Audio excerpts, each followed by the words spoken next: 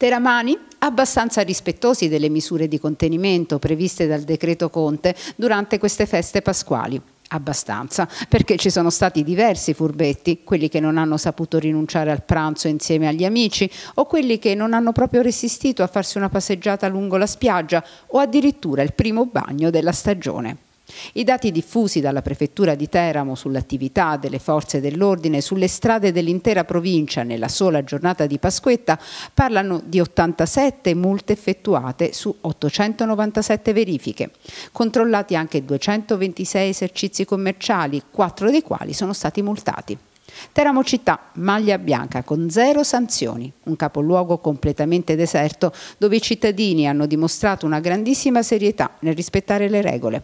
Ad aiutare le forze dell'ordine questa volta ci sono stati anche i droni dei vigili del fuoco che hanno sorvolato soprattutto i comuni costieri.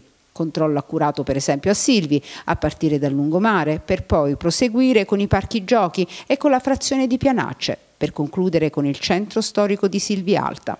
Il lavoro effettuato ha portato alla contestazione di quattro verbali a persone intente a passeggiare senza valido motivo. I droni hanno sorvolato anche Alba Adriatica e Tortoreto. Il litorale era deserto, scongiurati i rientri nelle doppie case e sono state fatte solo poche contravvenzioni.